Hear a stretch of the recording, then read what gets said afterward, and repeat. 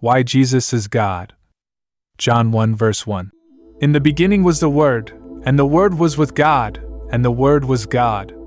John 1 verse 14. And the Word became flesh and dwelt among us, and we have seen his glory, glory as of the only Son from the Father, full of grace and truth. 1 John 5 verse 20. And we know that the Son of God has come and has given us understanding, so that we may know him who is true, and we are in him who is true, in his Son Jesus Christ. He is the true God and eternal life.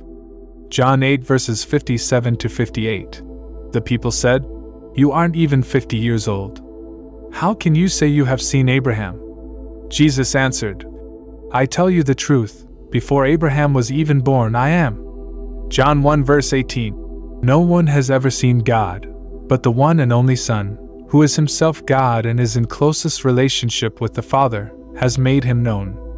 Revelation 1 verses 17 to 18. When I saw him, I fell at his feet like a dead man.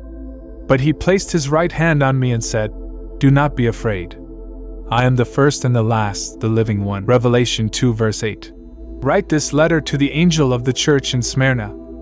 This is the message from the one who is the first, and who is the last, who was dead, but is now alive. Revelation 22 verse 13. I am the Alpha and the Omega, the first, and the last, the beginning, and the end.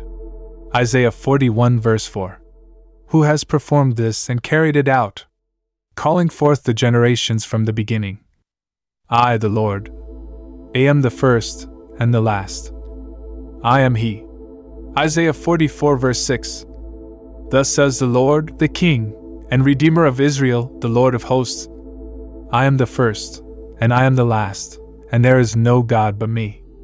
Isaiah 48, verse 12. Listen to me, O Jacob, and Israel, whom I have called. I am He. I am the first, and I am the last.